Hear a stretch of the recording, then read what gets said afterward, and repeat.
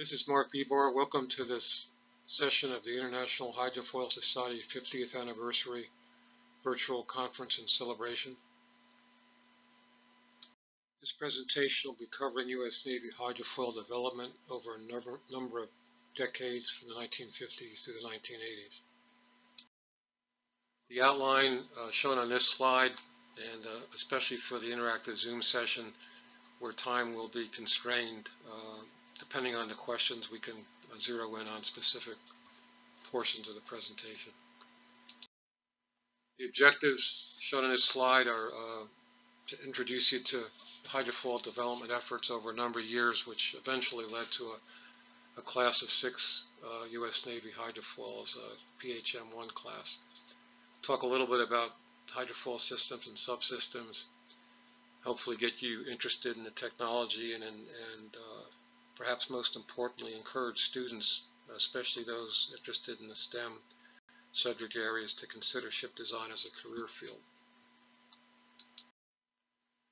Why hydrofoils? Uh, you know, everybody likes to go fast in a car and, and boats and so forth. There's been uh, a lot of efforts to increase waterborne speed, both for naval application as well as uh, recreational and other commercial applications, including high-speed ferries. There's a lot of different advanced uh, unconventional hull forms out there shown in this slide. Uh, this presentation will focus on, on hydrofoils. And all of these uh, advanced vehicles focus on, in one way or another, uh, lifting or removing as much of the hull as possible from the sea surface, both to uh, reduce friction and drag and also to uh, uh take the, uh, the hull out of the, uh, the wave effects on the surface.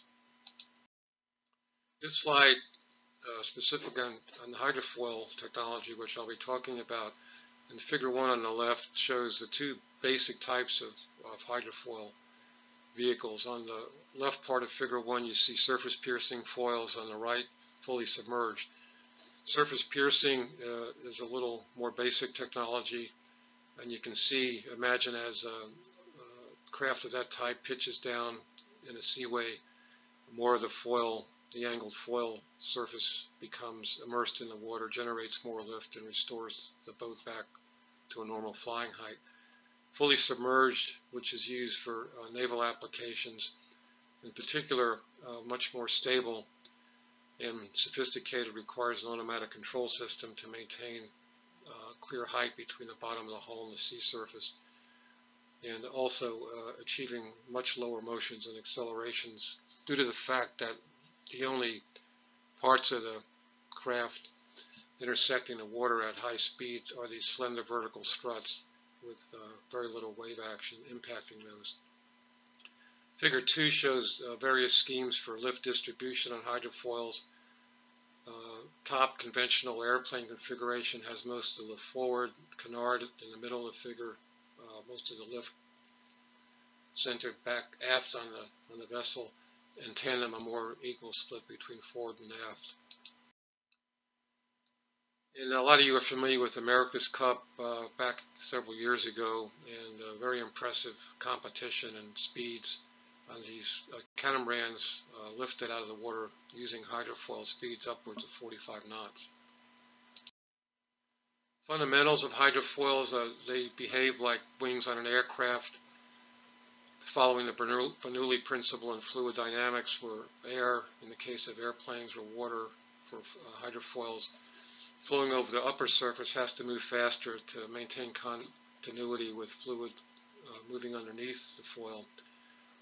Because it has to travel a little bit further going over the top of the, uh, of the hydrofoil, it creates a, a, low, low pressure due to the, the higher speed requirement, lower pressure, high pressure on the bottom surface, and the net effect is to create vertical lift.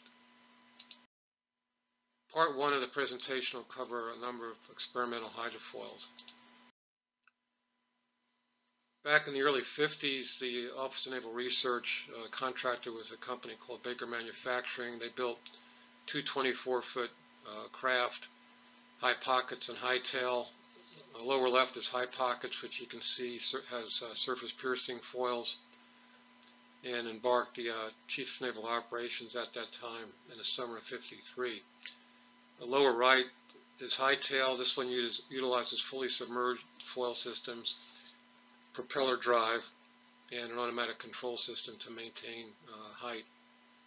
And you can see from the beginning in the early 50s, the intent was to be able to compare these two uh, inherently different types of uh, foil systems. A number of uh, amphibious hydrofoils were explored in the late 50s, starting in the late 50s. The Halobates on top achieved speeds of 34 knots and 5-foot waves. They uprated the propulsion system with uh, a 1,000 horsepower gas turbine. A little later on, uh, better electronics for automatic control, modified the foil system. And you can see in the uh, uh, lower figure, the right-hand side, uh, quite elaborate mechanical scheme for being able to uh, both remove the, the aft foil system from the, uh, from the water, uh, be able to rotate it for steering, and maintain it uh, when it was taken out of the water. This slide shows a couple of different amphibious hydrofoils, the LCVPH built by Baker. They took a existing landing craft and modified it similar to the high pockets you saw in the previous slide, utilizing surface piercing foils and were able to achieve speeds to the beach of about 40 knots. In the bottom you see an Army landing craft, the DUKW, contracted given to Miami Shipbuilding and AVCO, which is a uh, engine company, to demonstrate a flying landing craft, utilize a gas turbine, in this case submerged, fully submerged foils, and a dramatic increase in speed from the uh, non-modified craft going from 5 knots up to 30 knots.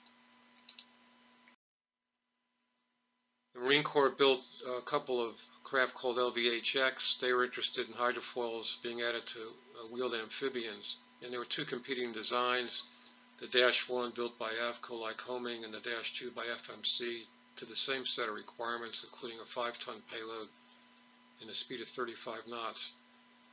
The uh, Dash 1 had submerged foils and the Dash 2 surface piercing. So once again, uh, continuing the theme of comparing these two basic types of foil systems.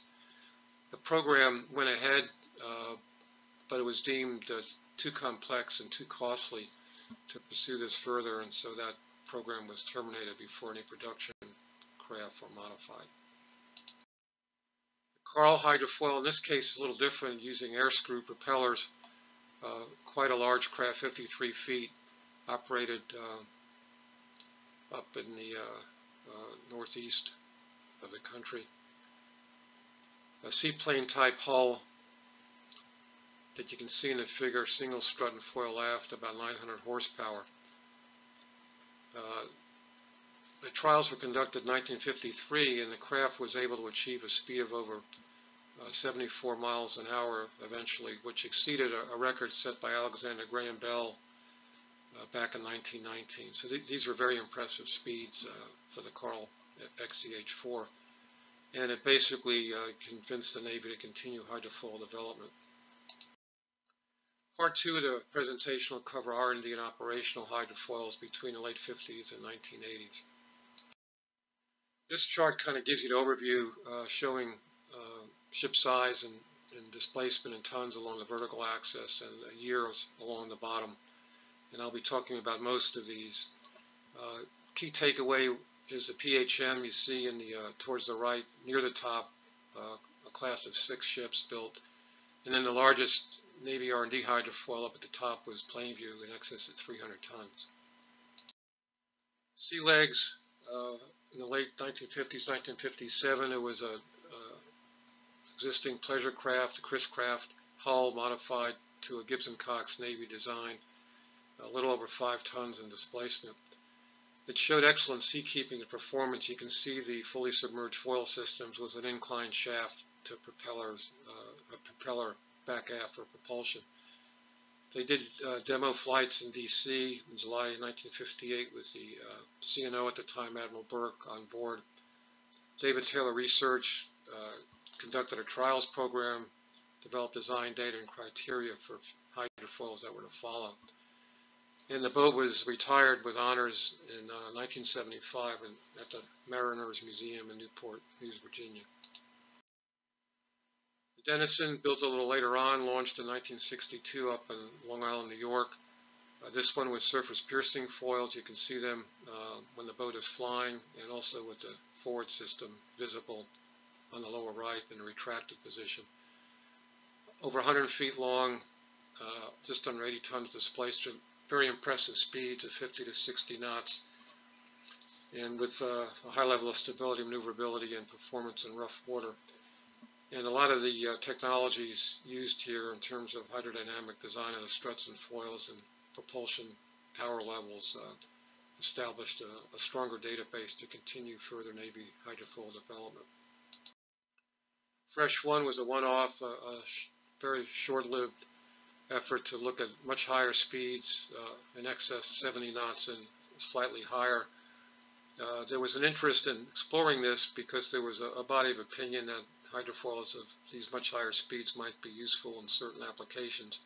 Requires a different approach to foil section shape, supercavitating foils. And you can see here that this craft uses a, a gas turbine propulsor on top, pure thrust, and uh, to drive the craft at those speeds. Unfortunately, it capsized at high speed. Uh, luckily, the uh, two operators were not injured too badly, but based on that, it was decided not to pursue any further. The High Point delivered to the Navy in early uh, August 1963, named after the High Point, North Carolina. Uh, over 116 feet long, 125 tons. This was a, a Navy-designed Bureau of ships built by Boeing. It's powered by two British Rolls-Royce gas turbines, about 6,300 horsepower total. Uh, through those after struts, the right angle drives, and four propellers, two per side. There were major mods conducted in 71 to improve various areas of the design, steering, uh, hydraulics, uh, redefinition of the propulsion pods to get better inflow to those tractor uh, tractor propellers, two propellers per side, uh, reconfiguring re, uh, the gears for foil-borne propulsion and so forth.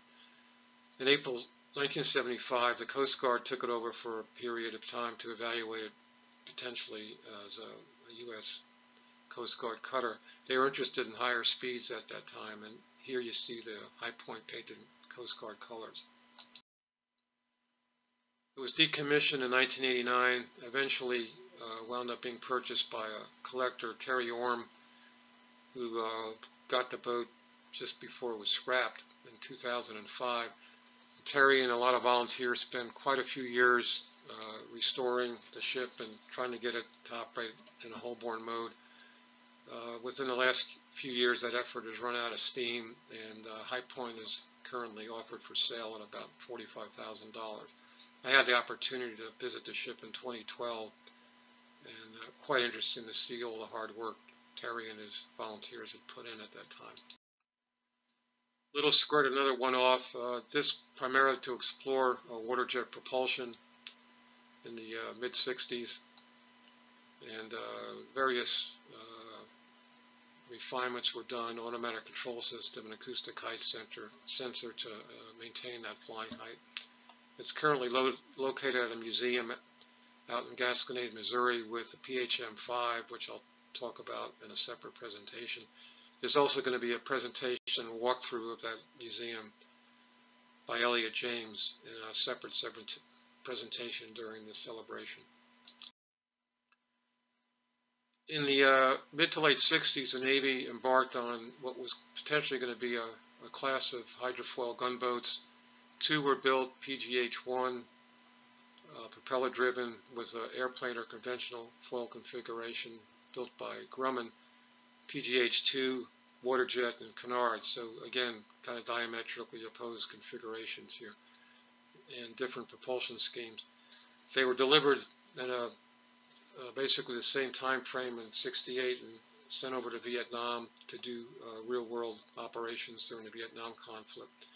This slide has the characteristics of the Flagstaff, just under 70 tons, 50 knot speeds, a crew of 13 people. This slide shows the Flagstaff over in Vietnam at the pier in Da Nang uh, with logistics support vans on the pier. Uh, the operations were very successful, uh, good level of operability in adverse conditions of waves, humidity, and high temperatures. Tucumcari, built by Boeing, as I mentioned, delivered at a cost of about $4 million, which was similar to the cost of the Flagstaff. Just under 60 tons, uh, 50 knot speed, uh, same size crew, and operated alongside uh, Flagstaff in Vietnam. There'll be uh, several presentations, uh, separate presentations on the PGH-2 uh, during this 50th anniversary event. Following the mission in Vietnam, Tucumcari tr was transported to Europe and uh, was used for demonstrations over there and combat exercises, uh, basically to show the uh, various NATO countries who were interested in, in high-speed patrol vessels for uh, countering the Soviet threat in that time, uh, what hydrofoil technology was capable of. Uh, quite successful operations in, over in Europe. Then the, the boat was assigned to the Atlantic Fleet. Unfortunately, ran into a reef in the fall of 72 quite heavily damaged. It uh, was salvaged, transported to Norfolk, but due to the cost involved was not restored. The key takeaway point for Tucumcari was it established uh, the basic foil design philosophy that was used later on the PHM. Canard foil configuration, fully submerged, a gas turbine water jet for uh, hull-borne propulsion, uh, foil-borne propulsion and hull-borne propulsion. The last uh, craft I'm going to talk about is the Plainview, uh, designed by Grumman, built by Lockheed, delivered in, uh, and launched in June of 65. Uh, in excess of 300 tons, over 200 feet long, uh, was capable of speeds of over 50 knots with two gas turbines of about 30,000 horsepower total with space and weight reservations to add two more gas turbines in the future and achieve much higher speeds up 60 to 70 knots for supercavitating operations. That, that later development did not occur, and Plainview operated through its fairly short life with uh, the plant described on this slide. And here you see the airplane configuration with uh, the larger foils just forward of midships, uh, the bow kind of cantilevered out there, and uh, basically a, a quite dramatic foil system configuration. Uh, had its first flight in March of 68, uh, started preliminary acceptance trials in February 69, operated by the Hydrofoil Special Trials Unit out in Puget Sound Naval Shipyard. The Navy undertook its own program of deficiency correction in order to make the ship operational uh, in a number of technical areas. Uh, final contract trials in January 70 and the Navy accepted the ship in March of that year a lot of unique characteristics and technologies, uh, some of which caused issues. It was a very large ship, uh, wasn't exceeded until the Soviet Union built the Babochka hydrofoil in the 1970s. Very large aluminum hull, uh, subcavitating foil systems, but very high structural loadings on that structure uh, to enable foil system sizes that were compatible with operations in, in and out of harbors and piers a very large hydraulic system, pressures of over 3,600 psi, a number of uh, hydraulic pumps, uh, very high capacity and flow rate, 1,000 gallons per minute. A right angle drive transmission system, 15,000 horsepower per side with supercavitating propellers and high rotational speeds.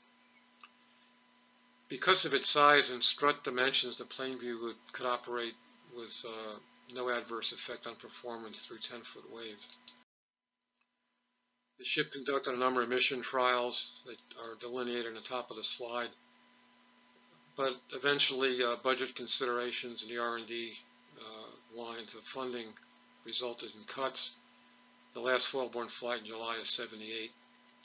And unfortunately, because of the decision not to add more horsepower and continue operations, the Plainview was never really tested to, to her full inherent capability. The ship was inactivated in September 78, sold to a private party, but unfortunately uh, that person ran out of funding and uh, abandoned the, uh, the, uh, the hull. And it's uh, sitting on a mud flat out near Astoria, Oregon, which is a kind of a sad conclusion to the plane Plainview. that concludes the, the main body of the presentation. Uh, this slide shows a, an overview of hydrofoil video, somewhat dated, but gives you a good feel for hydrofoil ships operating at sea. And to acknowledge that a, a lot of the material from this presentation came from John Meyer's book. John Meyer was a past president of the International Hydrofoil Society, has passed away uh, several years ago. Uh, I was a protege of John's, and uh, John was an incredible guy, lived and breathed hydrofoils, and this was a book that he prepared in 1990. Uh, with that, during the Zoom live, live session, I'll uh, take questions at this point.